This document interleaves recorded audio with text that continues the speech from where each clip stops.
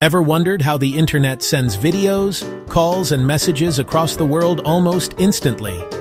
It's all thanks to fiber optics, using light to move data at incredible speed. Inside a fiber optic cable are hair-thin glass fibers that carry pulses of light instead of electricity.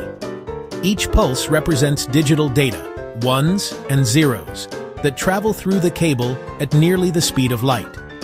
The light bounces inside the cable's core using total internal reflection, meaning it keeps traveling forward even through bends and long distances.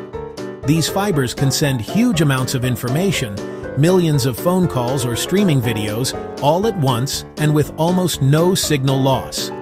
That's how you can stream a movie from another continent in seconds. So next time your Wi-Fi feels fast, remember, you're surfing on beams of light zipping through glass underground. If you love learning how modern tech actually works, follow for more and don't forget to like and share this video.